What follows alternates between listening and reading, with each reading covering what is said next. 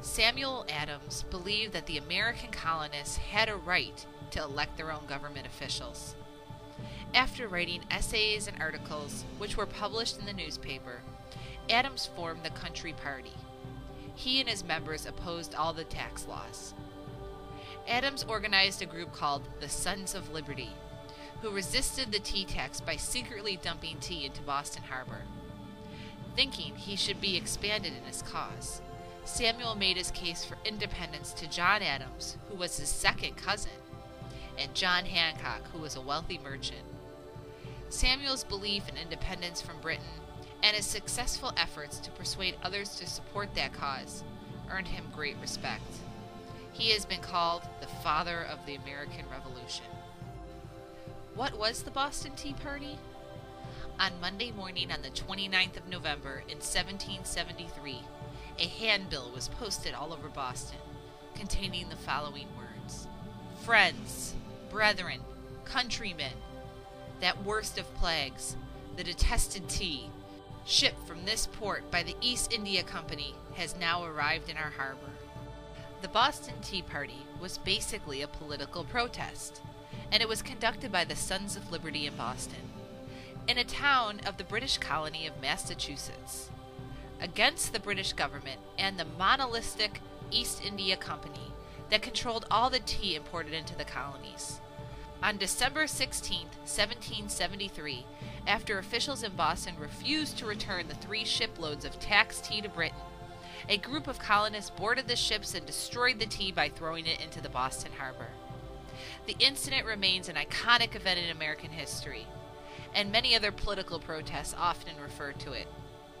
The Tea Party was an accumulation of a resistance movement throughout British America against the Tea Act, which had been passed by the British Parliament in 1773.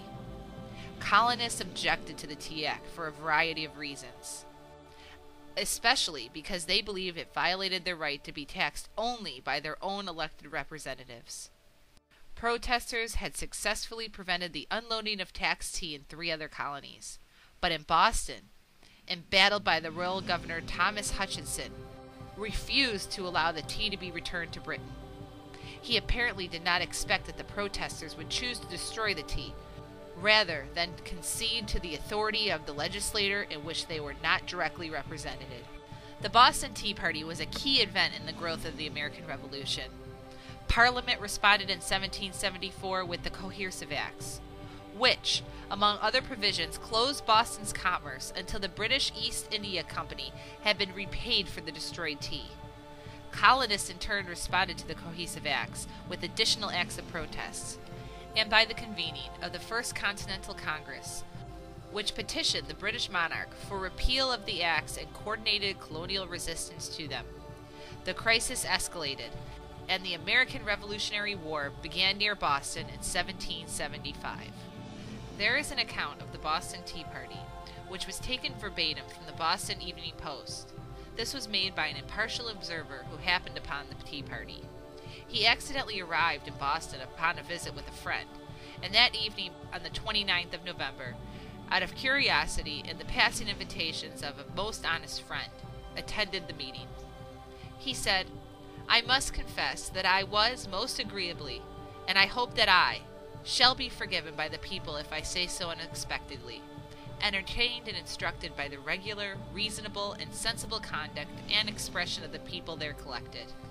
That I should rather have entertained an idea of being transported to the British Senate, that to an adventurous and a wonderful assembly of people, of a remote colony, were I not convinced by the genuine and uncorrupted integrity and the manly hardihood of the rhetoricians of that assembly that they were not yet corrupted or debauched by luxury. And this tells us a lot about these men who protested the Boston Tea Party. They were men not yet corrupted by the government or the political system. These men, Samuel Adams, John Hancock, and John Adams, were truly sons of liberty.